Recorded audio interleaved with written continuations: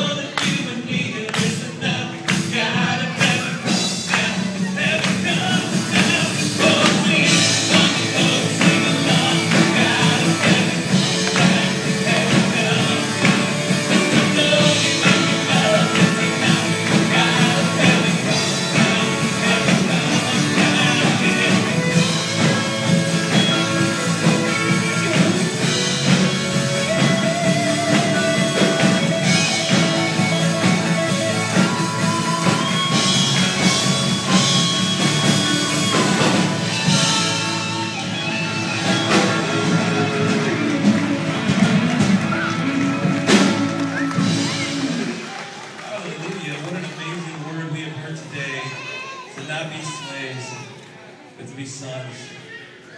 Go in peace this week and serve the Lord and just be Christ to those around you. Be the love and be God's children to the world. In Jesus' name, you were.